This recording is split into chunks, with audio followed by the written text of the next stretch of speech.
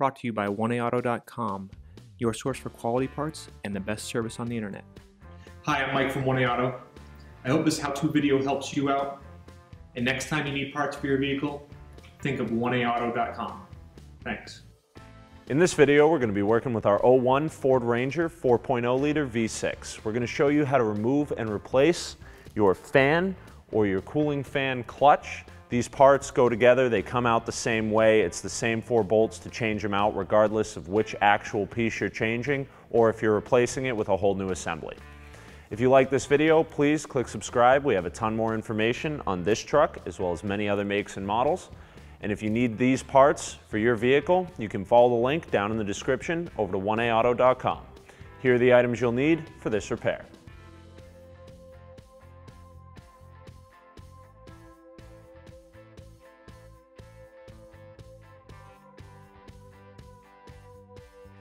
Going to remove this cover over the throttle body.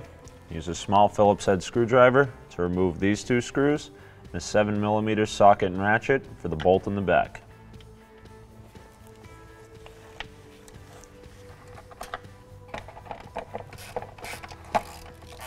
Remove the cover from the intake. We're going to use a flat blade screwdriver to loosen these two screw type clamps on our intake tube. We'll then wiggle the tube off of the MAF sensor in the throttle body and remove it from the vehicle.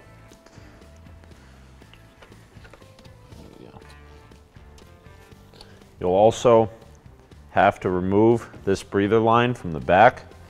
So we'll remove the intake tube from the throttle body and the MAF. Pull it straight off the breather and remove it from the vehicle. Ideally, you'll want to use a 36 millimeter wrench or clutch fan removal tool to remove the fan clutch nut from the front of the water pump, but we're going to show you how to remove the fan clutch nut if you don't have the special tools. Your serpentine belt tensioner is located on the passenger side of the engine, just below the alternator. At the bottom, there's a 3 8 square drive, which we'll use the end of a 3 8 drive ratchet for.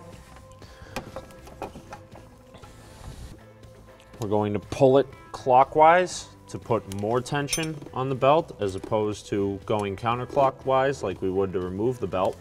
And then we'll use a long 10 millimeter wrench to remove two of the bolts on the water pump pulley and get us some room to get a wrench on there and remove the clutch fan. We'll break the two bolts loose with the tension on and remove it the rest of the way by hand. Once the bolts are loose, you should be able to take them right out by hand. With the bolts out of the way, you can put a 36 millimeter wrench or an adjustable if you don't have one. Loosen the nut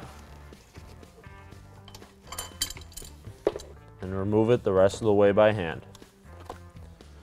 Remove the two 10 millimeter bolts at the top of the fan shroud the socket and ratchet.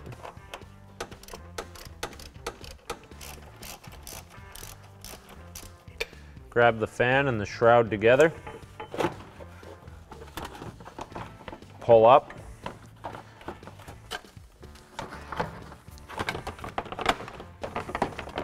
And remove them from the vehicle. So we have a new plastic radiator fan from 1A Auto that we're going to change out. But this process is going to be the same regardless of whether you're changing your old clutch into a new fan or putting a new clutch into your old fan. We'll use a 10 millimeter socket and ratchet to remove these four bolts.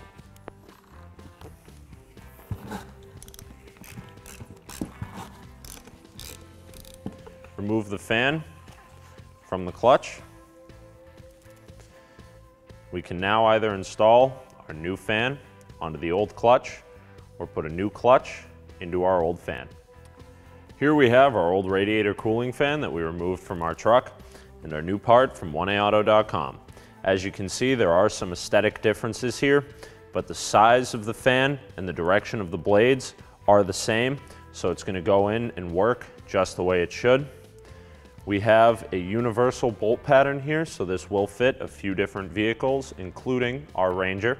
So this new fan from 1A Auto will go in direct fit, just like your original equipment, and fix you upright. Lay our fan back over our fan clutch. These smaller holes are the correct ones for our 01 Ranger. So we'll start those bolts off. Now this does sit a little bit deeper than our factory unit, so you are gonna have to lift up on the clutch here. It's not just gonna lay in flat like it did with our old one, but that's no big deal. The manual shows that these bolts can be torqued from 14 to 19 foot-pounds. We're gonna go ahead and torque them to 15. Just to be safe, it's only a 10 millimeter bolt. We're gonna torque these just the same way you would torque a wheel. I'm gonna go across and across this way to make sure it gets tightened down flat. It doesn't pinch on one side, rotate out of balance and create a vibration.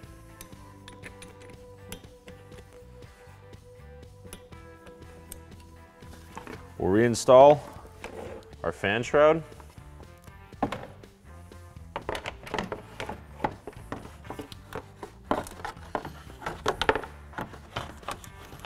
a little tricky to sneak past the transmission lines. We'll lay our fan shroud back.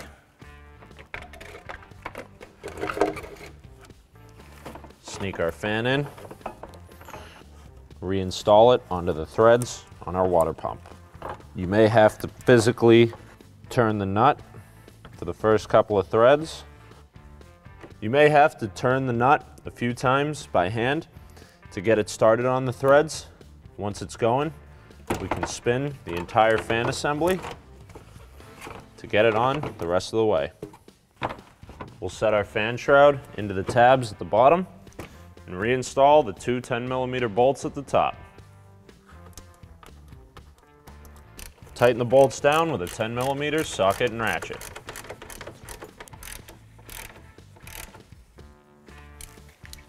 So we've got our 3 8 drive ratchet and our tensioner again.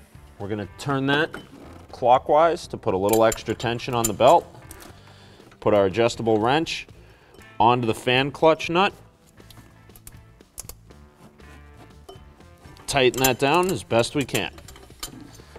Now we'll take that same wrench and rotate this around 180 degrees or so, whatever you need to do to get to the other two water pump bolts and reinstall them. We'll start our two 10 millimeter bolts in by hand. We'll put the tension back on the belt and snug up our 10 millimeter water pump pulley bolts.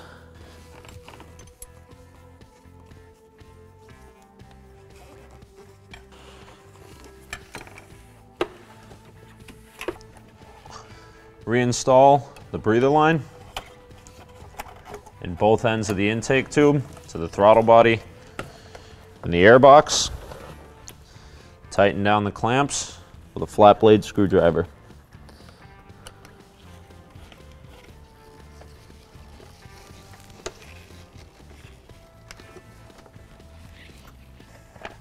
Reinstall the engine cover. We'll tighten down the front two screws with a Phillips head screwdriver and the rear with a 7 millimeter socket.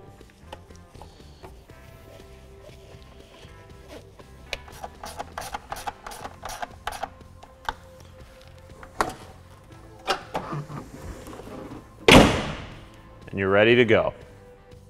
Thanks for tuning in. We hope this video helped you out. Next time you need parts for your car, please visit 1aauto.com. Also check out our other helpful how-to as well as diagnosis videos.